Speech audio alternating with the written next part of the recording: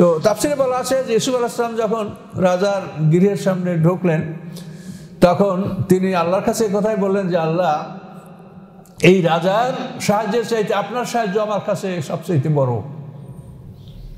আমি রাজার সাহায্যকে বড় মনে করি না, আমি আপনার সাহায্য কামনা করি। এরপরে আল্লাহর ভয়ে তাক্কল করে দোয়া পরে তিনি সেখানে ঢুকলেন, ঢুকে রাজাকে আরবিতে সালাম দিলেন, আসসালামু আলাইকুম। তো মিশরের রাজা আরবি ভাষা বুঝতেন না। তখন তিনি বললেন যে এটা কোন ভাষা?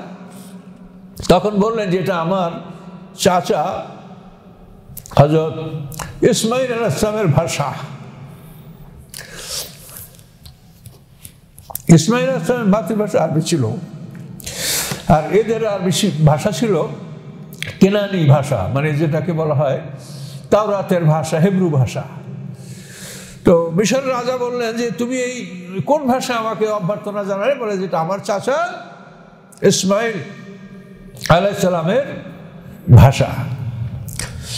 তো এই কথাটা এই জন্য দুঃখজনক লাগে যে ইসুফ আলাইসলাম তার চাচার স্বীকৃতি দিয়েছেন। কিন্তু তারপরেই তার বনি ইসরায়েল এই তারই বংশধর সব, তারা কোনোভাবে আমাদের নবীকে স্বীকৃতি দেননি। আজকে সারা পৃথিবী জানি আমরা ভুগছি।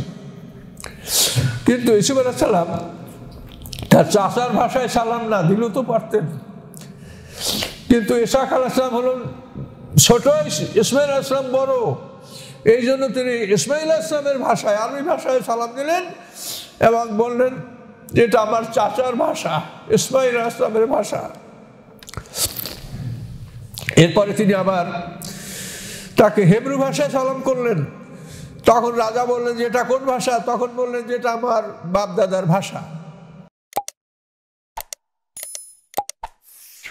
أعوذ بالله من الشيطان الرجيم بسم الله الرحمن الرحيم وقال الملك إني أرى سبع بقرات سمان يأكلهن سبع عزاف والسبع سنبلات خضرا وأخر يابسات ইয়া ইয়ল মালাউ আফতুনি ফি রুয়ায়া ইনকুন তুমলির রুয়ায় তাবরুন তর্জমা মিশরের বাদশা বললেন নিশ্চয়ই আমি স্বপ্নে দেখেছি ষাটটা মোটা গাভী। তাদেরকে খেয়ে ফেলল ষাটটা দুর্বল গাভী। অসাবা সুমুলাতেন ক্ষুদ্রেন অখারায়া বেসার এবং ষাটটা তরুতাজা ফসলের শীষ এবং অপর ষাটটা শুকনো। ইয়ে আইহল মালাও হে আমার মন্ত্রী পরিষদ সভাসদ, আফতুনি হি রুইয়া তোমরা আমার স্বপ্নের ব্যাখ্যা দাও। এঙ্কুং তুমলি রুয়ে তাবরুন যদি তোমরা স্বপ্নের ব্যাখ্যা দিতে সক্ষম হয়ে থাকো। বিয়াল্লিশ নম্বর আয়াতে আমরা শুনেছি, আমরা আলোচনা করেছি যে ইসুফ আলাহিসাল্লাম জেলে ছিলেন তখন তার জেলখানার সাথীরা দুই সাথী স্বপ্ন দেখেছিল, সেই স্বপ্নের ব্যাখ্যা ইসুফ আলাহিসাল্লাম দিয়েছেন। তাতে তিনি একজন সম্পর্কে ব্যাখ্যা দিয়েছেন যে তিনি মুক্তি পাবেন। তো তার কাছে ইসুফুল্লাহ সাল্লাম বলেছিলেন যে, তুমি তোমার মনিবের কাছে আমার কথাটা একটু স্মরণ করিও। তো এই কথাটা আল্লাহ তালা পছন্দ করেননি, যার ফলে ফালাবেসা ফিসেজনে বেদা আসিনিন বেদা হলো তিন হইতে নয়। তো অধিকাংশ তাফসির কারকদের মতে যে এই ঘটনার পরে মানে ওই আসামিটা মুক্তি হওয়ার পরে ইসুর আসলাম সাত বছর জেলে ছিলেন। এখানে তার ত্রুটিটা কি? যে তুমি তোমার মালিকের কাছে, অর্থাৎ মিশরের রাজার কাছে তুমি বলো যে জেলখানে একটা লোক নিরপরাধ, সে জেল খাটছে। এটা তুমি তাকে স্মরণ করায় দিও। তো এটা আল্লাহ পছন্দ করেননি। যে তোমার রব, আমি আল্লাহ, তুমি আমাকে না বলে তোমার মালিক, তাকে তুমি কেন স্মরণ করলে? এজন্য আল্লাহ অসন্তুষ্ট হয়েছেন। ফলে ইসুল আসলাম সাত বছর জেল কেটেছেন সবই আল্লাহর ইচ্ছা, সবই আল্লাহর কুদরত এবং এর মধ্যে রয়েছে আমার জন্য শিক্ষা যে আল্লাহর উপরে কীভাবে তাওয়াক্কুল করতে হবে। আল্লাহর উপরে কীভাবে তাওয়াক্কুল করতে হবে, কীভাবে সারেন্ডার করতে হবে, ইসলাম অর্থ সারেন্ডার, আত্মসমর্পণ। এগুলির শিক্ষা রয়েছে এর মধ্যে। যে এতটুকু কথায় তার কি অপরাধ ছিল? কিন্তু পয়গাম্বার হিসেবে এটা কমপ্লিট সারেন্ডার থেকে একটু মানে মনে হয় যেন একটু বিচ্যুতি। জাকার আসলামের কি অপরাধ ছিল? ইহুদিরা তাকে ঘিরলো একটা বাগানের মধ্যে, সে আটকা পড়ল, সেই বাগানে একটা গাছ বলল যে, আমি দ্বিখণ্ডিত হয়ে যাচ্ছি, তুমি আমার মধ্যে ঢোকো। জাকের আসলাম গাছের মধ্যে ঢুকলেন। এটা আল্লাহর কাছে অপছন্দনীয় ব্যাপার হলো। ইব্রাহিম আসলামকে যখন আগরে নিক্ষেপ করা হয়েছিল, তখন কিন্তু জিব্রাইল, মেকাইল, তারপরে হাওয়ার ফেরেস্তারা সবাই আসছিল। কিন্তু ইব্রাহিম আসলাম সবাইকে বিদায় দিয়েছে যে আপনাদের কাছে আমার কোনো প্রয়োজন নাই। তো এই হলো জাতির পিতা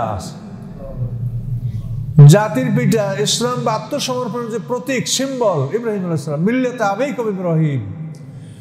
এই জাতির পিতার আত্মসমর্পণ দেখেন, আর জাকের একজন পয়গাম্বার, তাতে কোনো সন্দেহ নাই যে তিনি একজন পয়গাম্বার, সম্মানিত ব্যক্তি।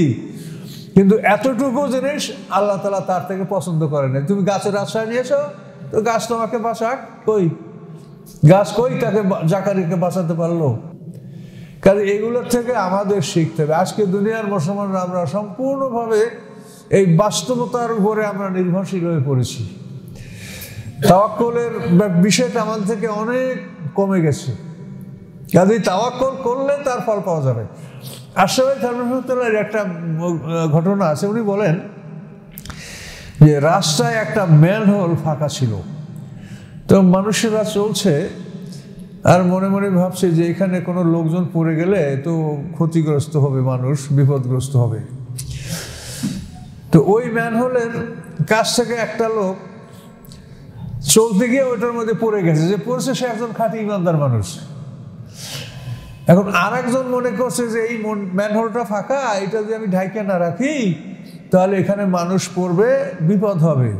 এই মনে করে ওই ম্যানহোলটা ঢাকার জন্য যখন ওর ঢাকনাটা নিয়ে ডাকতে যাচ্ছে, তখন নিচের মানুষটা সে মনে মনে ভাবে যে এখন আমি ডাক দিয়ে বলি যে, ভাই, আমি এর মধ্যে পড়ে আসি কিন্তু তার মনে আসলো যে, না, আল্লাহ বলছেন যে অমৈয়া তাওয়াক্কাল আল্লাহ ভাব আসব। আল্লাহর উপরে যে নির্ভর করে আল্লাহ তার জন্য যথেষ্ট হন, কাজে আমি কেন ওই লোকটাকে বলব যে আমি পড়ে গেছি? আমার তো আল্লাহ আছে, দেখছেন? তো ওই লোকটা ওই ঢাকনা দিয়ে ম্যানহোলটা ঢেকে রাখল। তার মধ্যে ওই লোকটা পড়ে আছে। ইমানদার মানুষ, সে আল্লাহ, আল্লাহর উপরে নির্ভর করেছে, সে ওনাকে বলে নাই যে আমি এর মধ্যে পড়ে আছি। তো ওখানে বসে আল্লাহ আল্লাহ করছে যে আমার যদি কবর হয় তা হয়েই গেল, আর যদি আল্লাহ আমার আয়াত রাখে, তো আল্লাহ এই ব্যাপারে দেখবেন তো উনি বলেন যে গভীর রাত্রে একটা বাঘের পা ঢুকে দিতেছে ম্যাথরের মধ্যে। আমি হাত দিয়ে সেটা বাঘের পা এবং আমাকে ইশারা করছে যে আমাকে ধরো। তো ওই বাঘের পাটা আমি ধরলাম আর ওটা আমাকে টাইনে তুইলে, ও বাঘ আমাকে রেখে চলে গেল। এই বাঘ যে কি বাঘ? কি জিব্রাহিল্লা কোন বাঘ আল্লাহ পাঠিয়েছেন? এটা আল্লাহই ভালো জানেন। আর সবাই থানবির রহমতুল্লাহ যিনি বিগত শতাব্দীর শ্রেষ্ঠ আলেম উপমহাদেশের উনি এই কথাটা, তাওয়াক্কুলের ক্ষেত্রে এই কথাটা উনি লিখেছেন। এখন আল্লাহকে যে যতটুক আমরা যেভাবে ভাবি, আল্লাহকে আমরা সেভাবে পাবো। এই জন্য এই ঘটনাগুলি যে কোরআনে হাসানুল কাসাস বলা হয়েছে, এর থেকে আমাদের শিক্ষণীয় বিষয় আছে। আমরা একটা ঘটনা শুনলাম, খুব মজা করে। তা তো না, আসলে আমরা শিখব কি? যে এইখানে ইসুফ সালাম বললেন যে, তার মালিক রব রব মানে যে পালে, বাপ মাকেও তো রব বলছে আল্লাহ। কামার রব্বায়ানি সগির। এখানে বাপ মাকে রব বলা হয়েছে না? যে দুজনে যেরকম আমাদেরকে লালন পালন করেছে, রব শব্দ ব্যবহার করা হয়েছে। তো রব তো আল্লাহর সেফাতি নাম। তো এখানে আমরা এটা শিখব যে আমরা আল্লাহর উপরে যদি তা তাওয়াক্কুল করতে পারি, তো আল্লাহ আমাদের রক্ষা করবেন। কোনো মানুষ তার নির্ধারিত মৃত্যুর সময়ের আগে মরবে না। এবং পৃথিবীর কেউ তাকে মারতে পারবে না। কারও যদি রিজেক্ট পৃথিবী থাকে, এই রিজেক্ট থাকা পর্যন্ত তার মৃত্যু হবে না। আর মৃত্যু যখন হবে, তখন সারা পৃথিবীতেই তার জন্য এক ফোঁটা পানি এটা থাকবে না, নাই। তখনই তার মৃত্যু হবে। তো এখন মিশরের যে প্রধানমন্ত্রী, তাকে বলা হয়তো আজিজে মেসের। আর মিশরের যে রাজা, প্রধান রাজা, তাকে বলা হয়তো মালেক, মালেকে আকবর। এখন এই মালিক, মিশরের যে রাজা, প্রধান শাসক, সর্বশ্রেষ্ঠ শাসক, তিনি বললেন যে আমি এটা স্বপ্নে দেখেছি আর দরবারের জাদুকর গণ জ্ঞানী, গুণী সবাইকে ডাকা হলো। বলা হলো যে তোমরা আমার এই স্বপ্নের ব্যাখ্যাটা দাও, যদি তোমরা সক্ষম হও। কলু আদগাসু আহলাম, তারা বলল যে এটা হলো বিকৃত মস্তিষ্কের স্বপ্ন। Jumble dream. ড্রিম মানে স্বপ্ন জাম্বল ড্রিম আদগাছ শব্দের অর্থ হলো দেখশুনের বহুবচন আদগাছ এর অর্থ হলো বিভিন্ন ধরনের খড়কুটো একত্র করে যেমন যেমন রান্না বান্নার জন্য বাগানে ঢুকলে আমরা ছোটোবেলায় গ্রামের বাগানে আমাদেরকে পাঠাই তো লকড়ি আনার জন্য। তো এই নারকেল গাছের ডাল, সুপুরির ডাল, এই শুকনো কাঠ, কড়াই গাছে, এগুলো সব আমরা কুড়ে নিয়ে আসতাম ছোটোবেলায়। আমাদের মনে আমাদের মায়েরা বলতেন তখন তো এই আদগাছ হলো ওই রকম মানে বিভিন্ন ধরনের খড়কুটা গুটিয়ে যদি একটা আটি বাঁধা হয়, এটাকে বলে আদগাছ তো এই শব্দটাকে আল্লাহ ব্যবহার আদগাছ আহলাম। মানে এটা হলো একটা বিকৃত মস্তিষ্কের এলোমেলো স্বপ্ন, জাম্বুল ড্রিম। এটা কোনো ভালো স্বপ্ন নয়, এর ব্যাখ্যা আমরা করতে পারছি না। অমা নাহনু বে তাহাবিল বে তাহবিল আহলামে বে আলিমিন। আর আমরা এরকম মানে বাজে স্বপ্নের ব্যাখ্যা আমরা জানি না। এটা বাজে স্বপ্নের ব্যাখ্যা আমরা জানি না, আমরা দিতে পারব না। এটা দরবারের যারা গণ্যমান্য, যারা ব্যাখ্যা দিয়ে থাকে মানে কাহেন, জাদুকর তারপর অন্য অন্য জ্ঞানী গুণী সবাই এই কথা বলল। অকল্লাজি নাজা মেনহুমা। তখন ওই দুই ব্যক্তির যে এক ব্যক্তি জেল থেকে মুক্তি পেয়েছিল রাজাকে যে পানীয় পান করাতো, শরাব পান করাতো, অকল আল্লাজি নাজা মেনহুমা, তাদের মধ্য থেকে যে মুক্তি পেয়েছিল, সে বলল অদ্যাকারা বাদা উম্মাতেন। এবং এক যুগ পার হয়ে যাওয়ার পরে তার স্মরণে আসলো। এই জেল থেকে বাইর হয়েছে আর রাজায় স্বপ্ন দেখছে এর মধ্যে ওই লোকটার আর মনে নাই যে ইসুফ আল আসলাম আমাকে বলে দিয়েছিলেন যে আমার মালিকের কাছে আমার কথাটা বলিও যে ইসুফ আল আসলাম নিরপরাধ জেলে আছে। এটা তার মনে ছিল সেটা অদ্দা করা বাদ উম্মতেন। এক যুগ, এক কাল পার হয়ে যাওয়ার পরে তার স্মরণে আসলো যে জেলখানাতে একটা লোক আছে, সেই লোকটা সঠিক স্বপ্নের ব্যাখ্যা দিতে পারে। তখন ওই লোকটা রাজার সামনে হাঁটু গেড়ে বসল, কুর্নিশ করল এবং তাকে অনুরোধ করল যে আপনি আমাকে পাঠান। আনা উনব্বে হুকুম্বে তাবিলেই ফারসিলুন আমাকে পাঠান, আমি এই স্বপ্নের সঠিক ব্যাখ্যা আপনাদেরকে দিতে পারব। তো তখন রাজার অনুমতি নিয়ে সে ওই ইসুফ আল্লাহ সাল্লামের কাছে জেলখানার দিকে গেল। জেলখানা শহর থেকে বাইরে ছিল, দূরে অবস্থিত ছিল। ওই লোকটা, মুক্তিপ্রাপ্ত লোকটা গেল।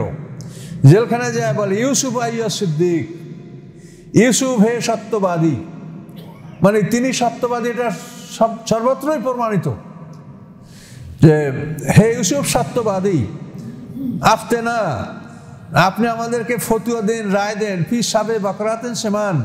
ষাটটা মোটা গাভী, একুল হুন্না সাবুন এজাব। সেগুলিকে খেয়ে ফেলল ষাটটা দুর্বল গাভী। ও সাবা সুমুলাতেন ক্ষুদ্রেন এবং ষাটটা তরুতাজা ফসলের শীষ উখারাই আবেসাদ এবং ষাটটা শুকনো। লাল্লি আরজুল্লাহ নাসিল আল্লাহ আলমন সম্ভবত আমি মানুষের কাছে ফিরে যাব এবং মানুষেরা এই স্বপ্নের ব্যাখ্যাটা জেনে নিবে। ইসুল আসলাম কাছে এই প্রশ্ন করলেন। কলা ইসুফ আসলাম বললেন, তাজরাউনা সাবা সিরিনা দাব্বা, তোমরা সাত বছর একাধারে ফসল উৎপাদন করবে। ফামা হাসাত্তুম ফাজুরু, ফাজারু ফি অতবার ওই ফসল যা তোমরা কর্তন করবে, সেগুলি তোমরা ওই শীষের সাথেই রেখে দাও। ইল্লা কালিলা মেম্মা তাকলুন, তোমরা যে পরিমাণ খাবে সেই পরিমাণই শুধু মারাই করো, আর বাকিটা মারাই না করে ওই শীষের সাথে শুকনো অবস্থায় ওটা গোলাজাত করো।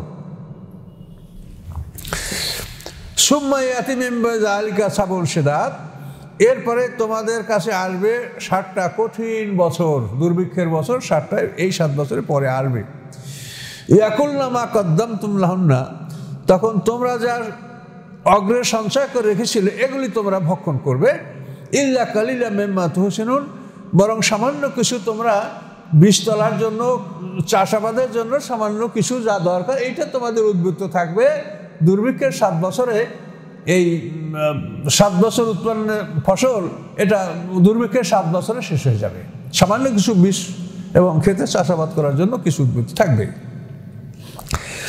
এভাবে তোমাদের চোদ্দ বছর পার হয়ে যাবে। এখন তোমরা সাত বছর উৎপন্ন করবে, সাত বছর দুর্ভিক্ষ থাকবে, চোদ্দ বছর পার হয়ে যাবে। সুম্মাইয়াতি কাম এই দুর্ভিক্ষের সাত বছর পার হয়ে যাওয়ার পরে আসবে একটা বছর ফিহি উগাসুর নাস, সেই বছরে মানুষেরা বৃষ্টি লাভ করবে, অফি ইয়ারিসুন, এবং সেই বছর মানুষেরা ফল নিংড়িয়ে তারা শরাব পান করতে সক্ষম হবে। এটা ইসুল আসলাম ওই তার সাথী যে জেলে ছিল তাকে বলে দিলেন। তো এখন ওই লোক যাইয়া রাজার কাছে বলল যে, আপনার স্বপ্নের বাক্যেই যে সামনে অতি অচিরেই সাত বছর প্রচুর ফসল ফলবে। এই সাত বছর পার হয়ে যাওয়ার পরে সাত বছর দুর্ভিক্ষ থাকবে। এই দুর্ভিক্ষের সময় যাতে আপনাদের অভাব না হয় এই জন্য ইসুফ আসলাম পরামর্শ দিয়েছেন যে ফসল যা উৎপন্ন হবে, তার থেকে যে পরিমাণ খেতে লাগে, এইটাই যেন মারাই করা হয়, বাকি ফসলটা যেন শীষের সাথে সংরক্ষণ করা হয়। এভাবে তিনি বলেছেন এবং এই এরপরে সাত বছর দুর্ভিক্ষ আসবে। এই দুর্ভিক্ষের পরে মানুষ আবার বৃষ্টি লাভ করবে, ফসল উৎপাদন করবে, ফল নিগড়িয়ে খাবে। এই কথাটা যখন বললেন, কোয়ালাল মালিক উতুনি বিহি। রাজা বললেন যে, তাকে আমার কাছে নিয়ে আসো। যে, এই সঠিক স্বপ্নের ব্যাখ্যা দিতে পেরেছে, এই লোক অত্যন্ত ভালো মানুষ, তাকে আমার কাছে নিয়ে আসো। তখন ওই দূত, ওই প্রতিনিধি আবার ইসুফুল আসলামের কাছে জেলখানায় গেল। কিন্তু ফালাম্মা জাহুর রাসুল যখন এই পিয়ন মানে রাজার দূত, যখন ইসুফ আসলামের কাছে গেল, দেখেন রাসুল শব্দটা কি অর্থে ব্যবহার হচ্ছে রাজা তাকে ইসুফুল আসলামকে নিয়ে আসার পাঠিয়ে একে কি বলা হলো? রাসুল। তা রাসুল শব্দ অর্থ বুঝেন? রাসুল মানে সংবাদ বাহক। তা আমাদের রাসুল মোহাম্মদ আল্লাহর পক্ষ থেকে সংবাদ বহন করে আমাদেরকে পৌঁছে দিয়েছেন। এবং রাসুলের কাছে এই সংবাদটা পৌঁছেছেন জিবরুল আমিন। তার রাসুল শব্দ অর্থ সংবাদ বাহক। দেখেন কোরআনের ব্যবহারটা। ফালাম্মা জাহুর রাসুল, তার কাছে যখন রাষ্ট্র, রাষ্ট্রপতি মানে মালিকের দূত যখন ইসুফ আসলামের কাছে গেল এবং তাকে শুনালো যে রাজা আপনাকে নিয়ে যেতে বলেছেন, তাকে আপনাকে রাজা তার একান্ত সচিব হিসেবে মনোনয়ন দিবেন, গ্রহণ করবেন, আপনাকে নিয়ে যেতে বলেছে। তখন ইসুফুল আসলাম বললেন, কলা ইরজে ইলা রব্বিকা, তুমি তোমার মালিকের কাছে যাও ফাস আলহু তাকে জিজ্ঞাসা করো, মা বালুর নেসওয়াতি কত্তানা আইডিয়া হুন্না ওই নারীদের কি অবস্থা? যারা হাত কেটেছিল, তারা কি বলে? তাদের অবস্থাটা কি? তারা কি অবস্থায় আসে? আমার ব্যাপারে তারা কি ভালো মনে করে না আমার ব্যাপারে খারাপ মন্তব্য করে? এইটা তুমি রাজাকে জানতে বলো। রাজা এটা আগে পরীক্ষা করুক, তার আগে আমি জেল থেকে বের হব না। ইন্না রাব্বি বিকাইদের নালিম নিশ্চয়ই আমার রব তাদের সম সম, তাদের ষড়যন্ত্র সম্পর্কে অবগত রয়েছেন। তার কারণ ওই যে ইসুর আসলাম বললেন, আর যে সাক্ষী দিয়েছিল যে জামা যদি পিছন থেকে সেরা হয়, তাহলে জোলাখা দোষী। এই জন্য ইসুল আসলাম বলছে যে, আমার রব, আমার পবিত্রতা সম্পর্কে অবগত আছেন। এখানে দেখেন ধৈর্য। মানুষ যখন জেলখানা থেকে মুক্তির খবর পায়, তখন জামা কাপড় বিছনা টিছনা গুটোই আনার সময় পায় না। সব জেল খায়ার থাকে, খালি দৌড় দেয় যে, আমি বাইর হয়ে যাই। আর ইসুফ আল্লাহ সালামকে এখানে তার জেলের সময়টা হলো, তাফসিরটা বলা হয়েছে যে উনি ওই স্বপ্নের ব্যাখ্যা দেখেছেন, তখন ওনার জেলে থাকার বয়স হয়েছিল পাঁচ বছর। ওই যে দুই সাথীর স্বপ্নের ব্যাখ্যা দিলেন, তখন ইসুফ আসলামের জেলে অবস্থান ছিল পাঁচ বছর। আর ওই স্বপ্নের ব্যাখ্যা দেওয়ার পরে আবার অবস্থান করলেন সাত বছর। ইসুফ আসলাম মোট বারো বছর জেলে ছিলেন। এই বারো বছর জেলে থাকার পরে যখন তার মুক্তির সংবাদ এলো তখন তিনি তার পবিত্রতা, তার সত্যবাদিতা নিশ্চিত না হওয়া পর্যন্ত তিনি জেল থেকে বের হতে রাজি হলেন না। দেখেন কেমন ধৈর্যশীল মানুষ। তখন উনি এসে রাজার কাছে বলল যে ইসুল আসলাম সে তার পবিত্রতা সম্পর্কে নারীরা কি মন্তব্য করে? এটা না জানা পর্যন্ত তিনি জেল থেকে বের হবেন না। তখন মালেক মানে মিশরের প্রধান রাজা উনি নারীদেরকে ডাকলেন। সবই রাজদরবারের লোকজন, আশেপাশে সবাই তো রাজদরবারে। সত্তর জন মহিলারা তো সবাই রাজদরবারের বিশেষ কর্মচারীদের স্ত্রীরা। তো এদেরকে ডাকলেন, ডেকে বলেন কলা মা খতম কন্যা। তোমাদের কি রায়? তোমাদের কি মতামত? তোমাদের কি অভিমত? এজার অত্যন্না ইউসুফ আর নাফসি, যখন তোমরা ইসুফ আলাহিসামকে তোমাদের নিজেদের পক্ষ থেকে তাকে সেডিউস করেছ, তার প্রতি ভালোবাসা নিবেদন করেছ তখন তোমরা কি পেয়েছ তার থেকে? বলো, তোমাদের কি মতামত? কুল্লা হাসারিল্লাহ তখন ওরা বলে যে, আমরা আল্লাহর আশ্রয় কামনা করছি, আল্লাহর অদ্ভুত ছান মা আলিম না আলহিম ইনসু তার মধ্যে আমরা কোনো খারাপ কিছু আমরা জানতে পারিনি। তার মধ্যে কোনো খারাপ কিছু আমরা পাইনি। এটা ওই নারীরা যারা মানে ভোজ সভায় অংশগ্রহণ করে হাত কেটেছিল, তারা বলল। তখন কলা তেমরাতুল আজিজে, তখন আজিজে মেসের মিশরের মন্ত্রী যে কেতফির, তার স্ত্রী বলল আল্লাহ হাস হাসাল হক্ক, এখন সত্য প্রকাশিত হয়েছে। আনা রাতু নাফসি, আমি নিজে তাকে উত্তক্ত করেছি এবং ভালোবাসা তার প্রতি আমি নিবেদন করেছি। অন্যও লামেনা সদিকে নিশ্চয়ই ইসুফ আসলাম সত্যবাদী, তিনি সত্যবাদীদের অন্তর্ভুক্ত।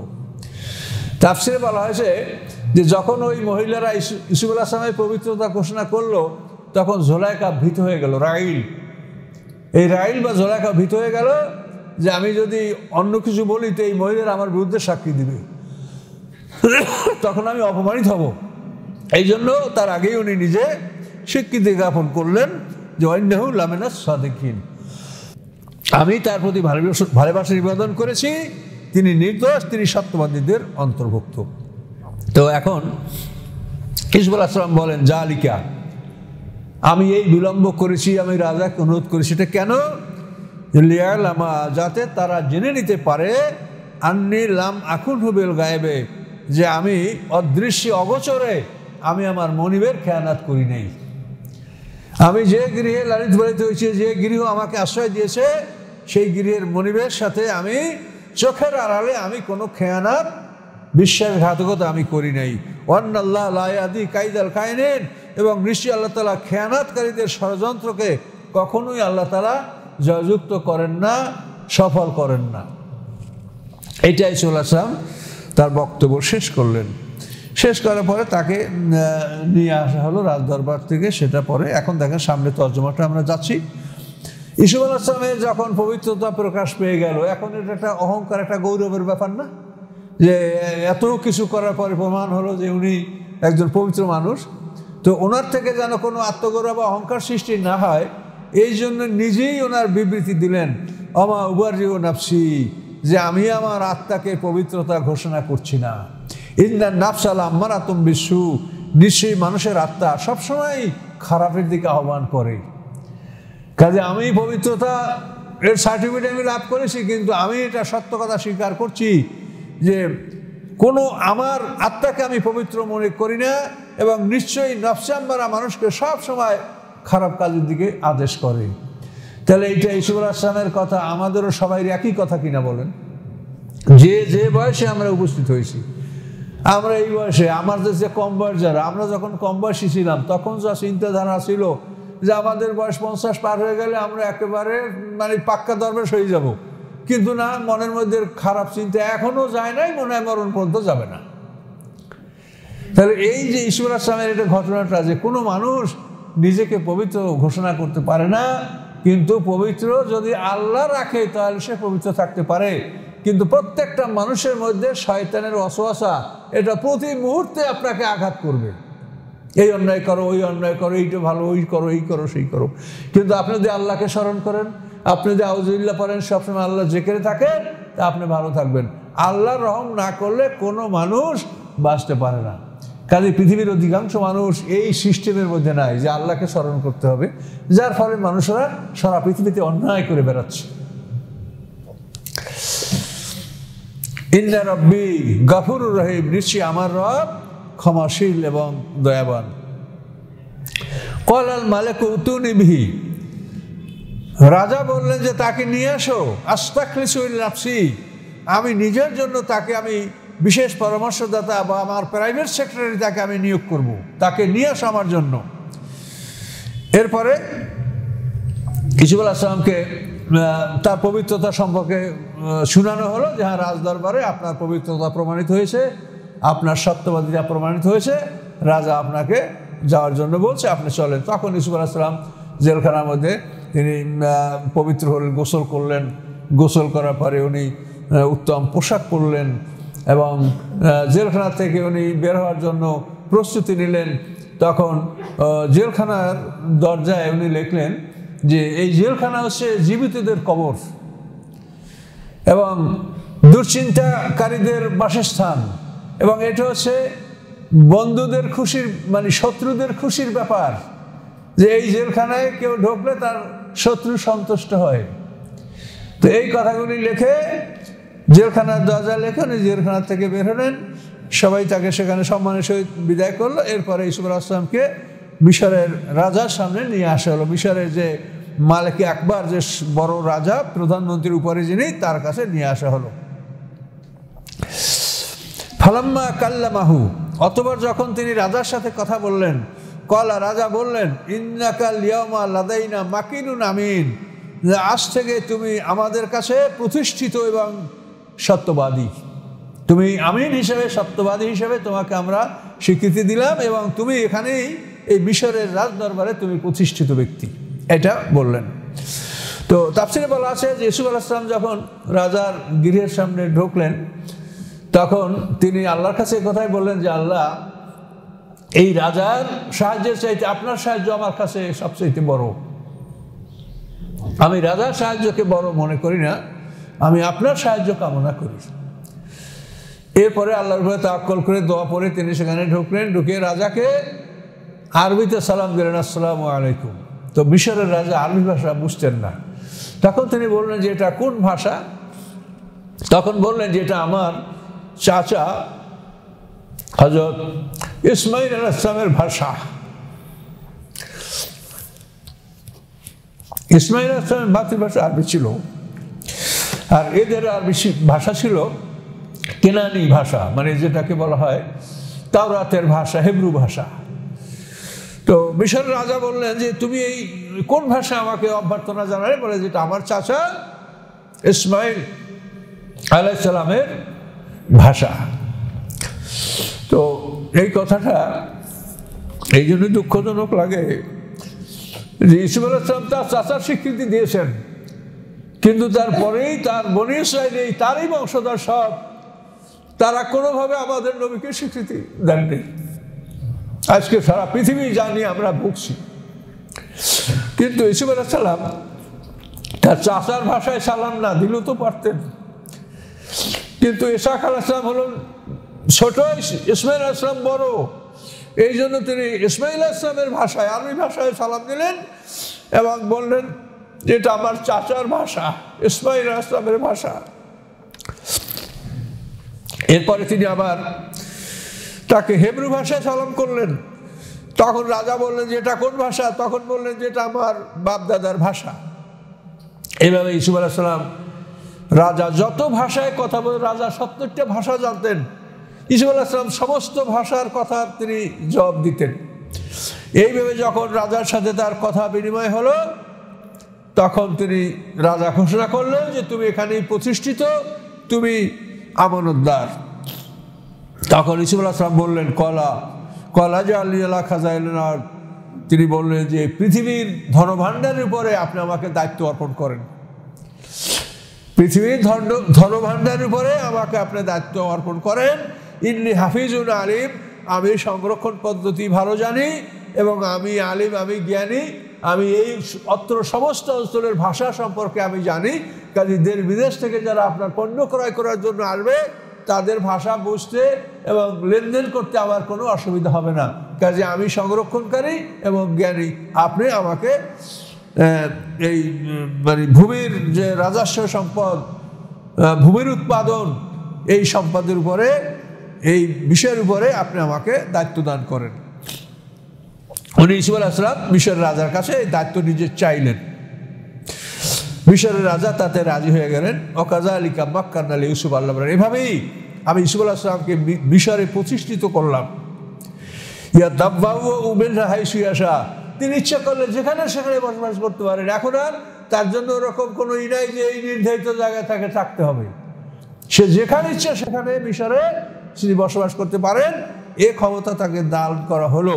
এর থেকে প্রমাণ হয় যে ইসুফ আলাহিসাম মিশরের রাজার অধীনে চাকরি করেন নাই, বরং মিশরের সর্বভৌমত্ব, মিশরের সার্বভৌমত্ব সমস্ত ক্ষমতাই তার হাতে ছিল। কি এতের অর্থটা বুঝছেন? আল্লাহ বলেন যে এখন সে মিশরের যে কোনো জায়গায় অবস্থান করতে পারে। কিন্তু আপনি দেখেন, দেশে সর্বোচ্চ পদ হলো সচিব। কিন্তু একজন সচিব যখন সর্বোচ্চ পদে চাকরি করে, সে কি যে কোনো ব্রাঞ্চে কাজ করতে পারে? সে যে মন্ত্রী, যে মন্ত্রণালয়ের সচিব, সেখানেই তাকে অবস্থান করতে হবে। কিন্তু ইসুর আসলামকে বলা হলো যে সে যেখানে ইচ্ছে সেখানেই অবস্থান করতে পারে। এর দ্বারা প্রমাণ হয় যে ইসুর আসলাম মিশরে চাকরি করেন নাই, তিনি মিশরের সার্বভৌমত্বের অধিপতি, আল্লাহ তাকে বানিয়েছিলেন। এইসব কথাগুলি কোরআন থেকে বোঝা লাগবে। অনেকে কিন্তু এরকম ইসুল আসলামের ব্যাপারে আজে বাজে দলিল দেয় ইসুল আসলাম কাফের অধীনে রাজত্ব করছে, চাকরি করছে, অমুক করছে, তা আমরা করব না। এই বিভিন্ন ইসলামী দলের মধ্যে থেকে এই ধরনের কথা আসে যে কথাগুলি অসত্য, তারা আসলে কোরআনকে বোঝে না। এখন এই আয়ের থেকে আপনি বোঝেন ইয়াতা বাব্বা উমেন হাই সুয়াশা ইসুল আসলাম যেখানে ইচ্ছে সেখানেই তিনি বসবাস করার অধিকার রাখেন। এর মানে কি? তিনি সমগ্র মিশরের দায়িত্ব এবং কর্তব্য কর্তব্য, দায়িত্ব এবং কর্তৃত্ব এটা তার হাতে ন্যস্ত করা হয়েছে। সমগ্র দায়িত্ব কর্তৃত্ব ন্যস্ত না করা পর্যন্ত এ ধরনের কথা বলতে পারে না। যে সে যেখানে ইচ্ছে সেখানে বসবাস করতে পারেন নুসুবিবে রহমত না মান্নাসা আল্লাহ বলেন, আমার রহমত, আমি যাকে ইচ্ছা তাকেই আমি পৌঁছিয়ে দিই। ওলা নদী আজদাল মুহসিন এবং কখনোই আমি সৎকর্মশীলদের বিনিময় আমি নষ্ট করি না। ওলা আজরুল আখাতে খায়রুল্লিল্লাদিন আমানু। এবং পরকালের বিনিময়ে উত্তম ওই সমস্ত মানুষের জন্য যারা ইমান রাখে অকান ইয়াত্তাকুন, এবং যারা আল্লাহকে ভয় করে। তাদের জন্য পরকালের বিনিময়ে। সম্মানিত শুধু তো এখন ইসমাল আসলামের সাথে রাজার এই বাক্য বিনিময়ের পর রাজা ইসমাল আসলামকে সাথে সাথে দায়িত্ব দেন নেই।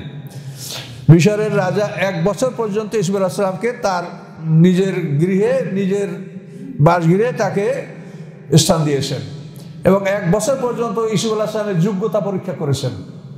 বিভিন্নভাবে ইসুবুল আসলামের যোগ্যতা পরীক্ষা করার পরে এক বছর যখন পার হয়েছে, তখন মিশরের রাজা ইসুবুল আসলামকে দায়িত্ব দিয়েছেন। তার জন্য সিংহাসন নির্মাণ করা হয়েছে। তার জন্য রাস পোশাক তৈরি করা হয়েছে। তার জন্য মানে বুকে ঝুলানোর তলোয়ার এবং মানে তারা তো যেহেতু, তারা তো মুসলমান ছিল না, তারা এই জন্য স্বর্ণের মানে কুর্সি তার জন্য তৈরি করছিল। স্বর্ণ দ্বারা তৈরি তৈরি করা চেয়ার, সিংহাসন ইসুফুল আজম তৈরি করেছিল। তার জন্য বিশাল সিংহাসন তৈরি করা হয়েছিল। তার চেয়ে বলা আছে যে তিরিশ হাত লম্বা বিশাল চওড়া সিংহাসন তার জন্য নির্মাণ করা হয়েছিল। তো যাই হোক, তার জন্য খুব মানসম্মত সিংহাসন নির্মাণ করা হয়েছিল এবং এক বছর পার হয়ে যাওয়ার পরে মিশরের রাজা, তার যে প্রধানমন্ত্রী কেতফির, তাকে তিনি বরখাস্ত করেন। এবং বরখাস্ত করার কিছুদিনের মধ্যেই কেতফির মারা যায়। কেতফির মারা যাওয়ার পরে তার স্ত্রী রাইল এই রাইলের সাথে ইসুফ আলাহিসামের বিবাহের ব্যবস্থা, এটা রাজকীয়ভাবে মিশরের রাজা এই ব্যবস্থা করে দেন। এইভাবে ইসুফ আলাহিসাম মানে এবং এই রাইল বা জুলাইখা তাদের জীবনের যে একটা মানে একটা কঠিন অবস্থা ছিল, সেটার এখানে আল্লাহ তালা সমাপ্তি ঘটায় দিলেন। এইভাবে ইসুফ আলাহিসামকে মিশরের রাজা যখন পরীক্ষা করে দেখলেন যে এই লোক মানে গোটা রাষ্ট্র পরিচালনার সম্পূর্ণ ক্ষমতা রাখে তখন রাজা আসতে অন্তরীণ হয়ে গেলেন। তিনি গৃহে প্রবেশ করলেন এবং ইসুফ আসলামকে যাবতীয় ক্ষমতা দান করলেন। তো এভাবে ইসুফ আসলাম মিশরের সম্পূর্ণ ক্ষমতার মালিক হয়ে তিনি এই দায় দায়িত্ব পালন করতে লাগলেন। তো এখানে ইসুফ আসলামের সাথে যখন মিশরের রাজার মানে সাক্ষাৎ হয়, তখন মিশর রাজা বলেন যে, আমার স্বপ্নের ব্যাখ্যাটা আপনি দিয়েছেন। তো আমি আপনার মুখে মুখে এই আমার স্বপ্নটা আমি কি দেখেছি এটা আপনি আমাকে বলেন। আমার স্বপ্নটা আপনার মুখে আমি শুনতে চাই, আপনি বলেন যে আমি কি স্বপ্ন দেখেছি। তখন ইসুর আসলাম বলেন যে আপনি স্বপ্ন দেখেছেন যে নীল নদী সম্পূর্ণ পানিতে ভরা, ভরপুর নীল নদী। এই ভরপুর নীল নদীর মধ্য থেকে হঠাৎ করে সাতটা গাভী বের হয়ে আসে। খুব সুন্দর, তরুতাজা, মোটা এবং তাদের দুধ ওলান থেকে দুধগুলি ছিটছিট করে পড়ছে। এভাবে সুন্দর সাতটা গাভী বের হয়ে আসে। অতি সুন্দর। এইভাবে গাভী সাতটা বের হয়ে আসে। হঠাৎ করে মুহূর্তের মধ্যে নীল নদী শুকায় গেল। নীল নদী শুকিয়ে যাওয়ার পরে নীল নদী এখন সম্পূর্ণ কাদা। এই কাদার মধ্যে থেকে সাতটা দুর্বল গাভী এমন বের হয়ে আসলো যে তাদের দুধের মানে ওলান নাই, তাদের প্যাট মানে পিঠের সাথে লাগানো এবং তাদের কোনো গরুর আকৃতি না, চেহারাগুলি মনে ধরো হিংস্র পশুর চেহারা এবং হাতে পায়ে বড় বড় নখ কিন্তু গরু। এইভাবে ষাটটা ভয়ঙ্কর আকৃতির গরু ওই কাদার মধ্যে থেকে বের হয়ে আসলো। বের হয়ে আসিয়া ওই ষাটটা মোটা গাভীকে তারা চিবেইয়া চিবেই এমনভাবে খাইয়া ফেলল যে হাড্ডি, গুড্ডি, চামড়া সব খেয়ে ফেলল। কিন্তু খাওয়ার পরেও তাদের পেটও এরকম ভরেছে মনে হলো না, আর শরীরের কোনো পরিবর্তন আছে তাও মনে হলো না, ওই দুর্বল অবস্থায় তারা ওইভাবে ষাটজনে ষাটটা গাভী গিয়ে গিলে ফেলল। রাজা বলেন হ্যাঁ আমি এইভাবেই দেখেছি। এরপরে হঠাৎ করে শুকনো নীল নদীর মধ্য থেকে কাদার ভিতর থেকে ষাটটা ফসলের শীষ, খুব তরুতাজা ফসলে ভরা, এটা বের হয়ে আসলো। এগুলি দুলছে, বাতাসে নড়ছে, আপনি দেখতে পাচ্ছেন। হঠাৎ করে ওই একই মূল থেকে মানে একই মূল থেকে, একই উৎপত্তি স্থল থেকে ষাটটা শুকনো শীষ বের হয়ে আসলো। তাতে কোনো ফসল নাই শুকনো। বাতাসে এই ষাটটা শুকনো শীষ, সবুজ ষাটটা শীষকে জড়িয়ে ফেলল। জড়িয়ে ফেলার পরে আগুন ধরে গেল। আগুন ধরার পরে উভয় শীষগুলি, ওই শাকটাই সে উভয়গুলি পুরে ছাই হয়ে সব কালো হয়ে গেল। কিছুই তার থাকল না। আপনি এটা দেখেছেন। তখন মিশর রাজা বললেন যে, আপনি সত্য বলেছেন, আমি এভাবেই স্বপ্ন দেখেছি। তখন ইসুল আসলাম বললেন যে, আপনার স্বপ্নের ব্যাখ্যা যে, সাত বছর দেশে পর্যাপ্ত পরিমাণে ফসল ফলবে। এই ফসল সংরক্ষণ পদ্ধতি উনি বলে দিলেন যে, এটা মানুষের যা খেতে পড়ে যাবে, ওই পরিমাণে তারা মারাই করবে, বাকিগুলি তারা শীষের সাথে রেখে সংরক্ষণ করবে এবং আপনি রাষ্ট্রব্যাপী আদেশ দিয়ে দেন যে সমস্ত ফসল যা উৎপন্ন হচ্ছে, এই উৎপন্ন ফসলের পাঁচ ভাগের এক ভাগ তারা সরকারি গুদামে জমা দিবে। পাঁচ ভাগের এক ভাগ। এটা ইসুফ সাহেব রাজাকে বলে দিলেন। তো জাকাত, এটা জাকাত বলা যাবে না। এটা হলো একটা মানে দুর্যোগ মোকাবেলার জন্য এই ব্যবস্থাটা। তবে জাকাতেরও যেটা এক নম্বর খাত, সেটা হলো পাঁচের এক। এটা আমাদের শরীয়তে যেটা বলা আছে, এক নম্বর খাত। গুপ্তধন এবং খনিজ সম্পদে পাঁচ ভাগের এক ভাগ জাকাত। আর ফসলের জাকাত হলো ওষুধ, দশ ভাগের এক ভাগ। কিন্তু এটা জাকাত হিসাবে নয়, এটা হলো মানে দুর্ভিক্ষ মোকাবেলার জন্য তিনি তার সুচিন্তিত মত এটা ব্যক্ত করেছেন যে আপনি সকল চাষিদেরকে বলবেন যেন তারা পাঁচ ভাগের এক ভাগ ফসল এটা রাষ্ট্রীয় তহবিলে, রাষ্ট্রীয় গুদামে এরা জমা করবে। এইভাবে যদি ফসল জমা হয়, তাহলে সামনের এই দুর্ভিক্ষের সাত বছর পার হতে আপনার কষ্ট হবে না। ঠিক ইসুবুল্লাহ সাল্লাম যেভাবে স্বপ্নের ব্যাখ্যা দিয়েছেন, সেভাবেই সাত বছর পার হলো। সাত বছর পার হওয়ার পরে শুরু হলো দুর্ভিক্ষ। দুর্ভিক্ষ শুরু হওয়ার পরে এখন মানুষ প্রথম বছর প্রথম বছর মানুষেরা তাদের কাছে নগদ টাকা পয়সা ছিল। এই টাকা পয়সা দিয়ে তারা ফসল কিনতে সক্ষম হলো। এগুলো এক বছর। দ্বিতীয় বছর তাদের কাছে আর নগদ টাকা নাই। তখন তাদের গহনা গাঠি যা ছিল, নারীদের কাছে, এই গহনা গাঠি বিক্রি করে তার দ্বারা তারা দ্বিতীয় বছর ফসল কিনল। তৃতীয় বছর আর টাকা পয়সা নাই। তখন তাদের গবাদি পশু উঠ ছাগল, গরু, ভেড়া যা ছিল, এই তাদের গবাদি পশু বিক্রি করে তৃতীয় বছর তারা খাদ্য সংগ্রহ করল। চতুর্থ বছর তাদের আর কিছু নাই। এখন তারা তাদের দাস দাসী যা ছিল, এগুলি বিক্রি করে চতুর্থ বছর তারা ফসল সংগ্রহ করল। পঞ্চম বছরে এখন আর তাদের কিছু নাই। এখন তাদের বাড়িঘর, ভিটামাটি জমি জমা যা আছে এগুলি বিক্রি করে তারা ফসল সংগ্রহ করল। ষষ্ঠ বছরে এখন আর কিছু নাই এবার তারা তাদের সন্তানদেরকে বিক্রি করল।